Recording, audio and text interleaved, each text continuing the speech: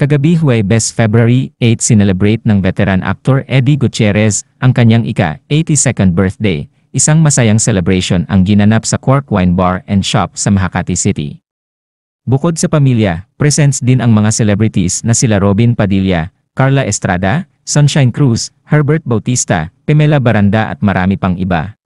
Dumating din si former President Joseph Estrada na matalik na kaibigan at kasabayan sa pag-artista ni Eddie. Narito ang ilan sa mga bidyong na ibahagi. Hi everyone, we're here at Marlowe's Salon and this is my go-to salon for all of my hair care needs in the South. Kaya punta na po kayo here at Ash Marla Salon. Salon.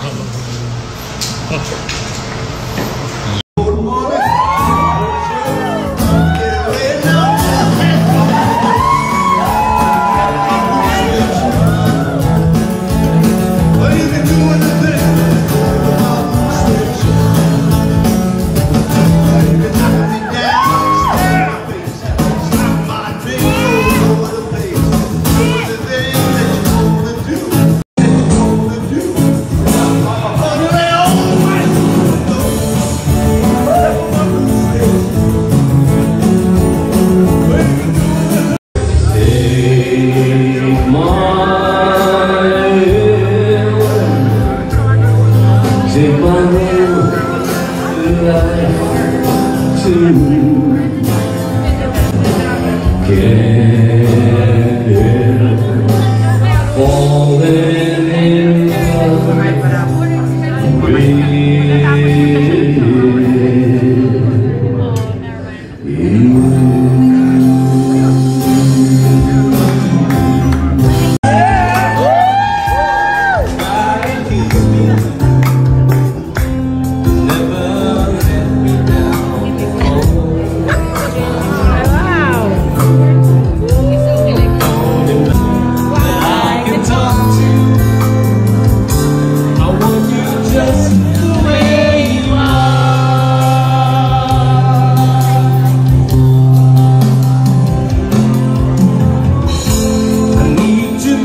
that you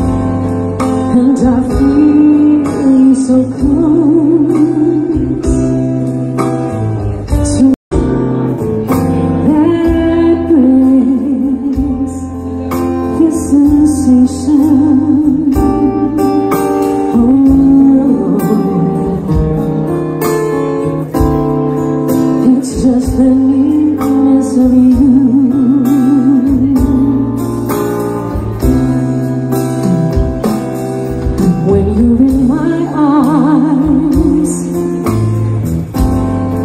And I feel so close